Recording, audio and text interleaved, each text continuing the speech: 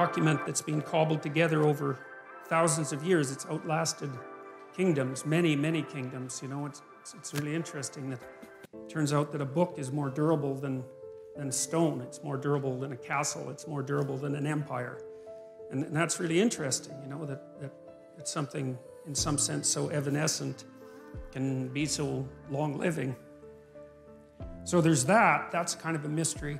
I'm, I'm approaching this whole scenario, this, this, the biblical stories, as if they're a mystery fundamentally, because they are. There's a lot we don't understand about them.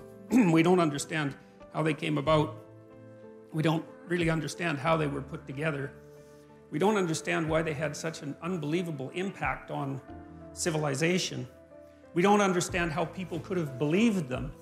We don't understand what it means that we don't believe them now, or, or even what it would mean if we did believe them. There, there's, and then, on top of all that, there's the additional problem.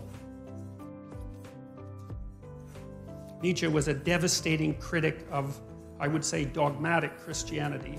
Christianity as it was instantiated in institutions, I, I suppose, although he, he's a very paradoxical thinker because, for example, one of the things Nietzsche said was that he didn't believe that the scientific revolution would have ever got off the ground if it hadn't been for Christianity and more specifically for Catholicism because he believed that over the course of really a, a thousand years, the European mind, so to speak, had to train itself to interpret everything that was known within a single coherent framework.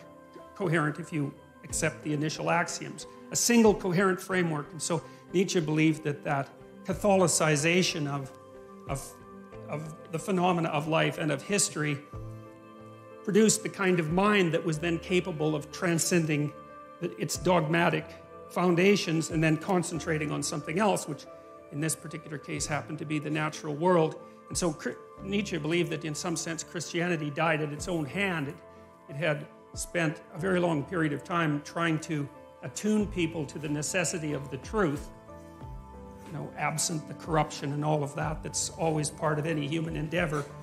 And then the truth, the spirit of the truth that was developed by Christianity turned on the roots of Christianity. And everyone woke up and said something like, or thought something like, well, how is it that we came to believe any of this? Um, it's like waking up one day and noting, noting that you really don't know why you put a Christmas tree up, but you've been doing it for a long time, and that's what people do. And you know, there are reasons that Christmas trees came about, but the the ritual lasts long after the reasons have been forgotten. So now Nietzsche, although he was a critic of Christianity and also a champion of of its disciplinary capacity. Because you see, the other thing that Nietzsche believed was that it was not possible to be free in some sense unless you unless you had been a slave. And, and by that, he meant that you don't go from childhood to full fledged adult individuality. You go from childhood to a state of discipline, which you might think is akin to slavery, to self imposed slavery. That, that would be the best scenario, where you have to discipline yourself to become something specific before you might be able to reattain the generality that you had as a child. And he believed that Christianity had played that role for Western civilization. Um, but in the late 1800s, he announced that God was dead. And you often hear of that as something triumphant. But for Nietzsche, it wasn't because he was too nuanced a thinker to be that simple minded. See, Nietzsche understood that, and this is something I'm going to try to make clear, is that we, there's, there's a very large amount that we don't know about the structure of experience, that we don't know about reality. And we have our articulated representations of the world. And then you could think of outside of that, there are things we know absolutely nothing about. And there's a buffer between them and those are things we sort of know something about, and we don't know them in an articulated way.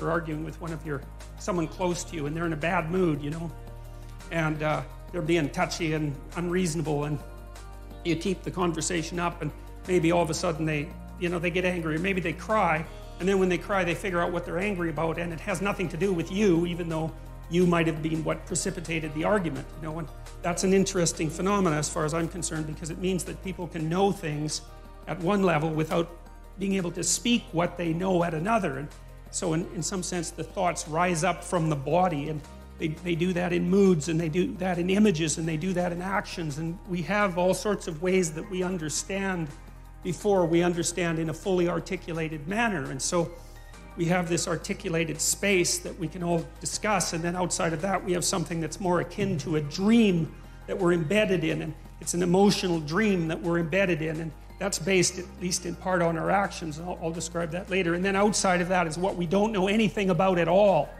And in that dream, that's where the mystics live, and that's where the artists live. And they're the mediators between the absolute unknown and the things we know for sure.